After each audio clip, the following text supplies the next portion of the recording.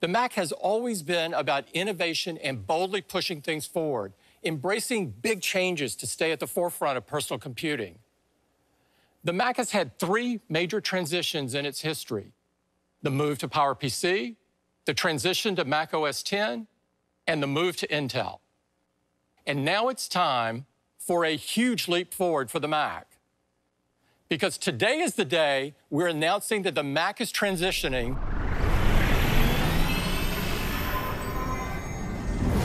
to our own Apple Silicon.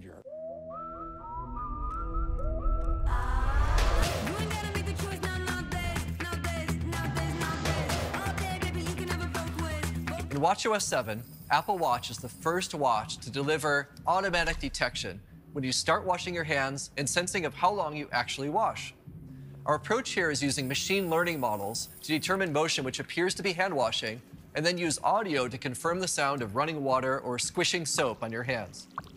During this, you'll get a little coaching to do a good job. You'll see a countdown along with haptics and sounds to make sure you wash as long as you're supposed to. If you pause early, there's a polite note to keep washing. And when you're done, you'll see, hear, and feel it.